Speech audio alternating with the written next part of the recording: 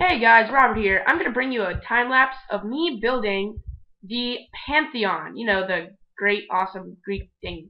Yeah. So here I just have the base of what it's going to look like. And I'm going to build it with snow because it's the closest thing we have to marble here in Minecraft. I mean, just look at it. It's like white. That's marble-ish to me. So, here we go.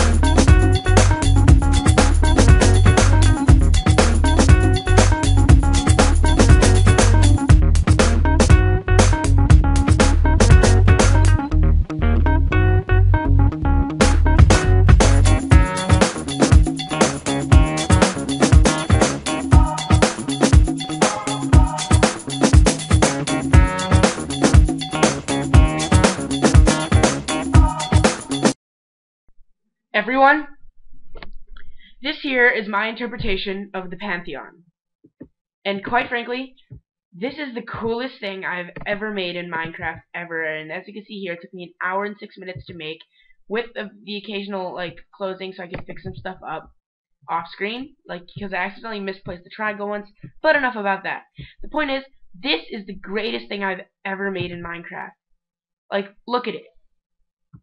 It's it's wonderful, and it took me so long. Like I just showed you, it took me an hour and six minutes to make. Now it has these wonderful fountains going into it, and I mean, I am I would be ejaculating if this was a woman right now. So I guess this is it. Thank you so much for watching my first epic time lapse video. Um, bye.